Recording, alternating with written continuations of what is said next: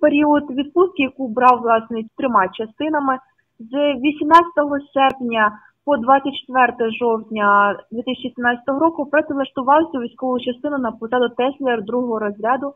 відділу матеріально-технічного забезпечення, з якої власне на четвертий день е, вибув у відрядження на два місяці в район проведення АТО. За вказаний термін він отримав винагороду у військовій частині за виконану роботу, тобто зарплату в сумі понад 10 тисяч гривень та понад 85 тисяч гривень заробітку від е, територіального управління Державної судової адміністрації України.